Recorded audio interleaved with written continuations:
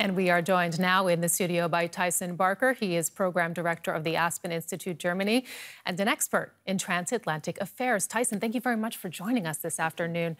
Um, what do you make of Trump's foreign policy reversals? I mean, he came into office as the great disruptor.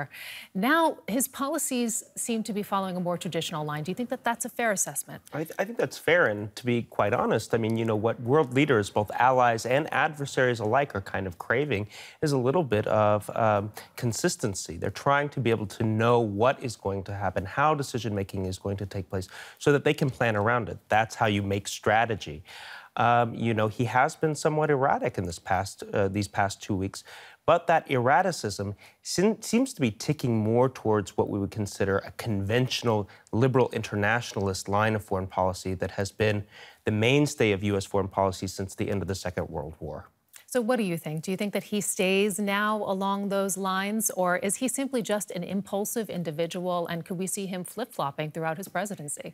Uh, the, the truth is, is that we don't have enough evidence yet to make that kind of assessment. I mean, what we are seeing right now is a shift from this kind of isolationist, populist America First rhetoric that kind of defined him in the campaign and is associated with Steve Bannon to something much more associated with Jim Mattis or McMaster, much more consistent liberal internationalism, where you can make certain predictions.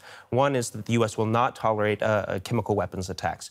Two is that we recognize that the relationship with China is extremely important, not just for U.S. China relations, but for global stability. And making sure to get that right is of, of extreme importance. So these are two areas where we're seeing things start to level off a little bit, maybe. And all of this inconsistency, what do you think it is doing to the United States' place in the world? What is it doing to its reputation? Well, this has been one of the uh, most underreported stories, but it plays out very much in polls. So there has been a so sharp drop in uh, the U.S. image in the world that goes back to the levels that we used to see in the Bush administration.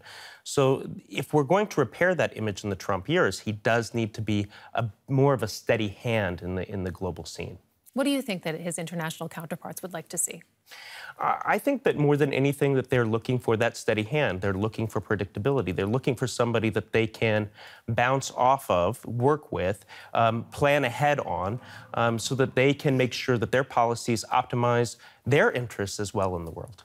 Tyson Barker with the very latest. We very much appreciate your insight. As we mentioned, you are the director of the Aspen Institute Germany and an expert in transatlantic affairs.